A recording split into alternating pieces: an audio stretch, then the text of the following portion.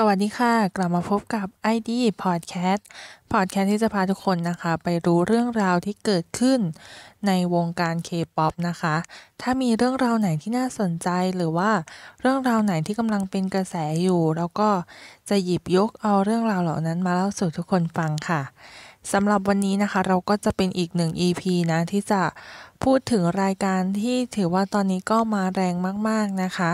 อย่างรายการ Street Woman Fighter นะคะ ซึ่งเป็นรายการที่แข่งเต้นโดยเอาผู้แข่งขันเนี่ย ที่เป็นนักเต้นระดับมืออาชีพนะคะ แล้วก็เป็นคนที่ออกแบบท่าเต้นรวมทั้งเป็นแดนเซอร์ backup ให้กับศิลปิน K-POP ชื่อดังต่างๆ หลายคนนะคะ ซึ่งทางช่องของเรานะก็ได้มีการทำ เกี่ยวกับผู้เข้าแข่งขันไปแล้วหลาย ๆ คนนะคะ อย่างโนเจ โรซาลิน หรือว่าล่าสุดล่าสุดนะคะ อย่างฮันนี่เจนะคะ เราก็ได้ทำคลิปลงไปนะคะ ทุกคนก็สามารถไปดูได้นะคะ ซึ่งหลังจากที่รายการ Street Women Fighter เนี่ย เป็นกระแสมากๆนะคะ แฟนๆ เนี่ยก็ให้การติดตามแล้วก็ต่างเชียร์ แล้วก็ลุ้นในแต่ละ EP ของรายการนะคะ เพราะว่าจะต้องลุ้นทุก EP จริงๆ เพราะว่าดุเดือดมากๆนะคะสำหรับรายการนี้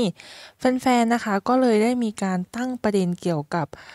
รายการนี้นะคะว่าถ้าเปลี่ยนจากการที่เป็นนักเต้นมืออาชีพเป็นผู้เข้าร่วมแข่งขันนะคะ เปลี่ยนมาเป็นไอดอลเกิร์ลกรุ๊ปนะคะ ที่เต้นเก่งเนี่ย ถือว่าแต่ละวงนะคะ ก็มีคนที่เต้นเก่งมาก ๆ อยู่นะคะ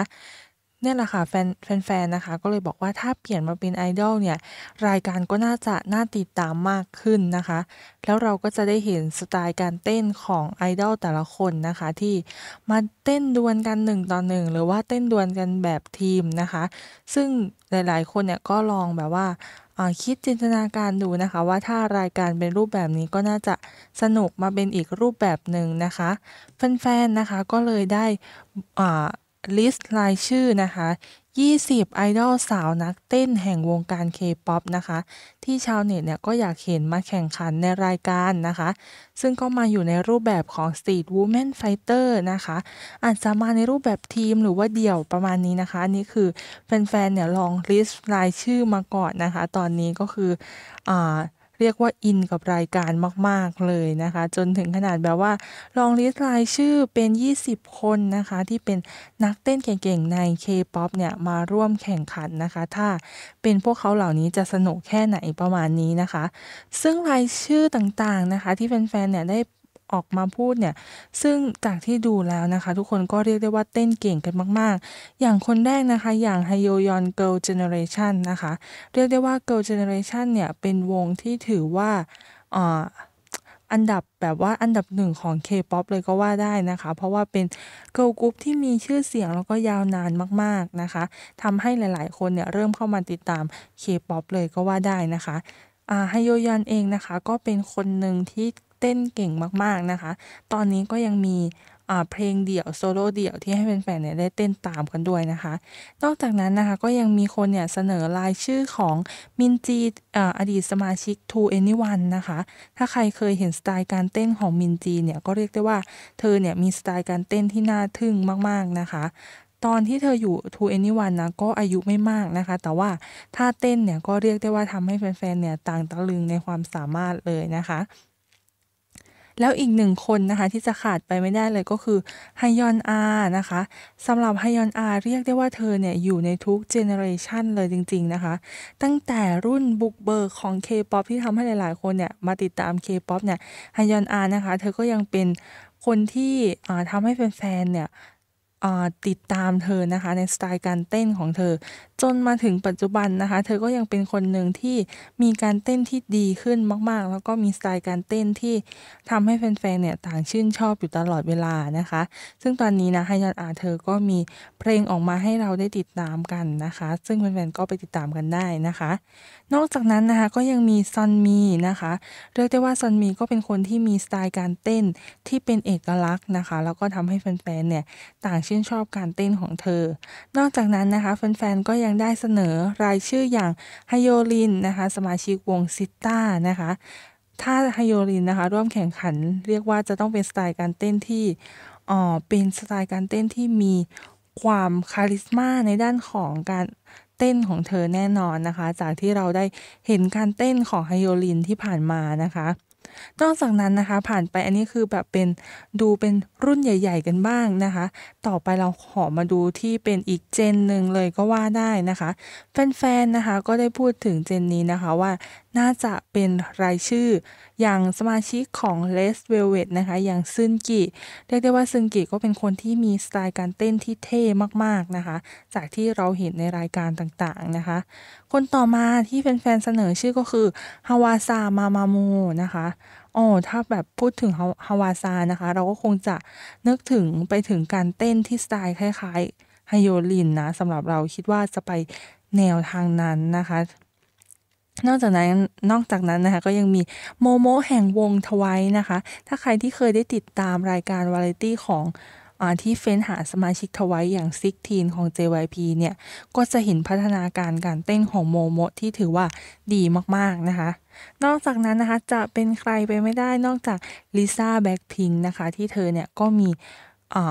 หลาย ๆ คนรู้จักว่าเธอเนี่ยเป็นนักเต้นที่ถือว่ายอดเยี่ยมนะคะ แล้วก็มีนักออกแบบท่าเต้นรวมทั้งนักเต้นต่างๆเนี่ยก็ต่างชื่นชมเธอนะคะ ว่าเธอเนี่ยเป็นนักเต้นที่ยอดเยี่ยมมาก ๆ เลยนะคะ นอกจากนั้นก็ยังมีซึงยอน CLC นะคะ เป็นสไตล์การเต้นที่อีกแบบหนึ่งเลยก็ว่าได้นะคะ ถ้าซึงยอนนะคะ เราว่าจะเป็นสไตล์การเต้นที่อยู่คล้ายๆ กับประมาณฮยอนอาประมาณนี้นะคะเซ็กซี่นิดๆประมาณนี้ นอกจากนั้นนะคะก็ยังมี YooA Oh My Girl นะคะก็เต้นเก่งมาก ๆ เหมือนกัน ชินบีนะคะชินบี GFRIEND นะคะก็จะเป็นสไตล์การเต้นอีกแบบหนึ่งนะสำหรับชินบีนะคะ นอกจากนั้นก็ยังมีชเวยูจองแห่ง Weki Meki นะคะ ก็ถ้าเป็นยูจองนะคะ เราก็จะเห็นถึงการแสดงสีหน้าของเธอในการเต้นนะคะ จากใครที่ได้ติดตามรายการ Produce มาจนถึงปัจจุบันนะคะ อย่างวงเกิร์ลกรุ๊ปอย่าง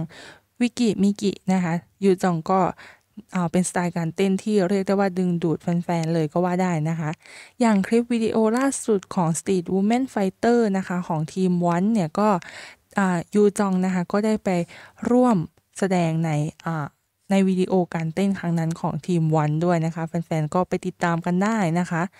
แล้วก็ยังมีคิมชองฮานะคะ โอ้โห ถ้าพูดถึงชองฮานะคะ ก็เป็นสไตล์การเต้นที่หลายๆ คนยอมรับว่าเธอเป็นนักเต้นที่ ถือว่าเต้นดีแล้วก็ยอดเยี่ยมอีกคนหนึ่งของ K-POP นะคะ ซึ่งนอกจากนั้นนะคะยังไม่หมดนะคะ ก็ยังมีคนพูดถึงรายชื่อคนที่น่าจะเข้าร่วมแข่งขันในรายการนี้นะคะ อย่างจูอีโมโมแลนด์นะคะโซยอนจีจีไอดอลนะคะซงฮายองโฟมิสไนซูอาเดมดรีมแคชเชอร์นะคะรยูจินอิจีนะคะ นานา woo!ah! นะคะ อันนี้นะคะก็คืออันนี้เป็นที่แฟนๆนะคะลิสต์รายชื่อเฉยๆนะคะว่า